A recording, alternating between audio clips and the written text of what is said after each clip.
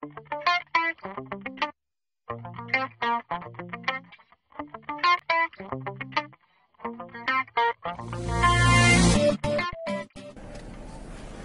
い、こんにちは、ロキです。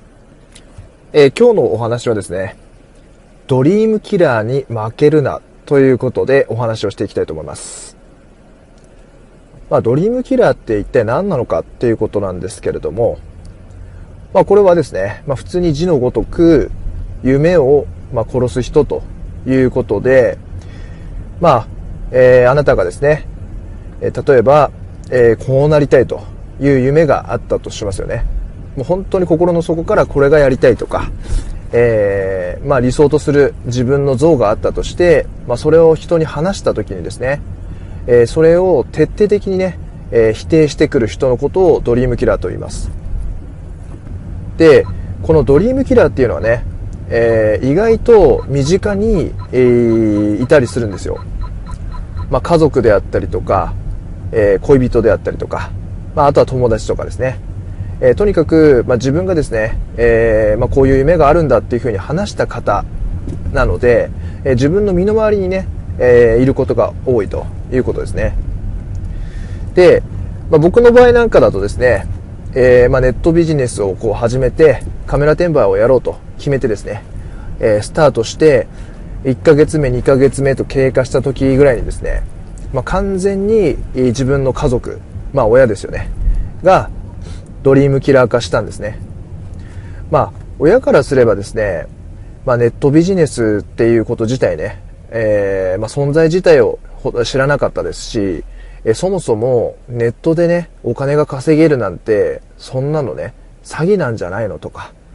えー、なんかいかがわしいことしてるんじゃないのかっていうふうにね、えー、勘違いを、えー、されてしまって、まあ、完全に先入観でしかないんですけれども、やっぱり自分のね、え知らないことであったりすると、否定からどうしても入ってしまうということが起きてくるんですね。まあ親からすればですね、え、もちろん大切な息子っていうことでね、え、思ってくれて、まあ親身になってね、えー、まあ止めてくれてたっていうのが、まあ現状なんで、僕もそれが理解してたんでね、まあ聞く耳を持たなかったわけではないんですけど、まあやっぱり自分がね、えどうしてもネットビジネスで稼いで、で独立して、まあ自由な生活をしたいっていう夢があったので、えー、そこはそこでね、えー、自分の夢は夢で、えー、しっかりと、まあ、続けて、継続してやっていくっていうふうに決めて覚悟してたので、まあ、親はね、まあ、親身になってね、えー、止めてくれてたんですけれども、まあ、そこはそこで、まあ、心の中で、まあ、ありがとうっていうふうに思ってですね、まあ、自分のためを思って言ってくれてるんだなっていうふうに思いつつ、自分の夢っていうのは一切曲げないっていうような感じで、えー、今までやってきました。うん。で、最初の方はですね、やっぱり、えー、まあ最初の半年とか、まあ1年ぐらいの間はですね、えー、まあ、口を開ければですね、えー、もう本当に大丈夫なのかっていうことでね、仕事のことはチクチクチクチクやっぱり言われてたんですね。まあ、完全にバックアップしてくれるっていうよりは、えー、まあ会社員になった方がいいとか、うん、サラリーマンで、まあ安定した収入を得た方がいいんじゃないのかっていうのをね、えー、言われ続けてたんですけれども、まあそれはもう自分で、えー、まあ、完全にドリームキラー化してるんだなっていうことで、まあ、理解してですね、えー、まあ、受け止めてきたと。で、え、心の中で思ってたのはですね、え自分がある程度の結果を出してですね、え親をね、安心させれば、絶対に自分をバックアップしてくれるっていうふうに信じてですね、それで、えやり続けたんですね。うん。そしてですね、まあ、ある日ですね、自分がやってることをですね、あのー、すべて話をしたんですね。うんまあ、今これこれこういうことで、えー、生計も立てられるし、まあ、自分で、えー、なんとかやっていけるようにはなってきたっていうふうにね、しっかりと、まあ、話をしたんですね。まあ、その時は本当に画用紙に自分がやってることをね、書き出して、で、図にして分かりやすく説明したんですけど、まあ、それがね、どれぐらい伝わってたかっていうのは分からないんですけど、まあ、実際に僕がそうやってね、えー、ちゃんと、えー、面と向かって自分のやってることをね、えー、明らかに公開することによって、まあ、親も親なりにね、今、今までとはちょっと違うんだなっていうことでね、まあ、ちゃんとやってるんであれば、まあ、これ以上は何も言うまいっていうことで、え、今ではね、ほぼもう何も言わなくなりましたね。うん。まあ、やっぱり安心してくれたんだなということで、まあ、ドリームキラーから、まあ、ドリームサポーターっていうところまではね、まだ、あのー、言ってはないと思うんですけど、ドリームキラー化っていうのはなくなりました。うん。ま、ここから僕がですね、今後どういう姿を、ま、見せていくかによって、ドリームキラーから、え、ドリームサポーターにね、えー、移行してもらおうっていうふうに思ってるので、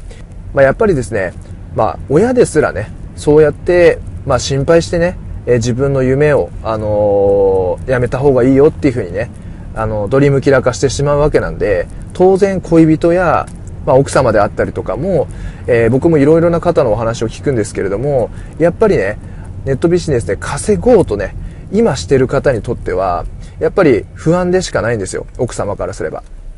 恋人からしてもそうですよね。うん。なので、どうしてもね、えちゃんとした仕事についてほしいっていうふうにね、えー、思われてしまうっていうのは、まあ、ほとんどだと思います。うん。なので、まあ、そういったね、えー、まあ、身近な方にね、最初から理解してほしいっていう気持ちはね、当然あるんですけれども、やっぱりね、それなりの結果っていうのを残さない限りは、やっぱり人間なんで、どうしてもね、心配とか不安とかっていうのはつきものですから、あのー、素直にね、じゃあそれで頑張ってねっていうふうにね、心の底からは言えないと思うんですね。うん。なので、しっかりとそういう現実を理解してですね、まあ誰しもが自分の身近にいる人が、まあドリームキラー化するっていうことをしっかり理解した上で、自分自身がですね、しっかりとした意識をね、持って、覚悟を持って、え、ネットビジネスに取り組んでいって、ある程度の結果を出していかないと、もうずっとね、周りはドリームキラー化したままで、で、なおさら、えー、結果が出ないでね、例えば1年、2年とかずっと過ぎてしまうと、結局のところ、やっぱりやめた方が良かったんじゃんっていう感じでね、えー、言われてしまったりするので、で、そうすると自分自身にもね、やっぱり自信がなくなってしまったりして、結局ネットビジネスでは稼げなかったっていう現実だけが残ってしまうと。で、えー、自分がね、えー、まあ夢見た。まあ例えば僕なんかだったら自由な時間と、まあお金を手に入れたいとか、えー、まあ一つの夢なんですけどね。まあそういう夢自体をね、見ることすらやめてしまって、え結局は現実の世界に引き戻されてしまって、えー、まあ、サラリーマンになって、えー、人生、もうずっと決まった仕事をするというのが、もうその時点でも人生が確定してしまうわけですね。うん。で、まあ本当に、まあ話がちょっとそれますけど、やっぱりネットビジネスをやり始めてですね、えー、僕は最近感じたのが、本当にこれからが人生のスタートなんだなっていうふうに感じたんですね。うん。あの、全てのしがらみから、まあ、抜け出して、自分自身で稼いでいくことによって、やっぱり全ての決定を自分でできるようになったっていうところで、えー、今まではね、会社に依存することによって、全ての指揮権を会社にね、委ねてたんですけれども、今は自分自身の頑張りとか、自分自身の意志力の強ささえあれば、自分で食べていくことができますし、えー、全て自分で判断することができるので、えー、もう本当変なストレスは全くなくなったんですよね。うん。ストレスは全くないですし、まあ、やらなければね、当然稼ぎはないですけれども、やったらやった分だけ結果が出てね、えー、お金も入ってくるわけなんで、今の生活の方が圧倒的にストレスフリーで自分らしく生きられてるなっていうふうに感じてます。はい。なので、まあ、こういうね、まあ僕で言えば、今は途中経過でしかないんですけどね、まあ夢が現実になり始めてる状態っていうのをね、えー、味わうためにもですね、えー、最初に、まあ、ドリームキラー化してしまった周りの人をですね、えー、まあ、なんとか自分の結果で、え、納得してもらうっていう努力をしていくということですね。その努力を怠ってしまって、結局ドリームキラーの言うことを聞いてしまってね、えー、自分が夢見ることをやめてしまうっていうことは結構ね、えー、この先人生を送っていく上で、えー、かなりね、えまあ、残念なことでもありますし、やっぱりまあ、ずっとね、人生1回しかないので、夢は見続けられた方がいいですし、夢に向かってね、え、自分自身が、まあ、突き進んでいくっていうね、えー、そういった生き方の方が、やっぱりね、えー、本当に生きた心地が僕もしますしね。うん。その生きた心地をやっぱり味わうためにもですね、えー、しっかりと、えー、自分自身の意思を持って、えー、ドリームキラーには対応していくといったことをしてもらえるとすごくいいんじゃないかなというふうに思います。で、えー、先ほどはね、え家族とか、え、まあ奥さんとかね、恋人とか、え、まあそういったお話をしましたけど、ドリームサポーターもやっぱりいるわけなんですよね。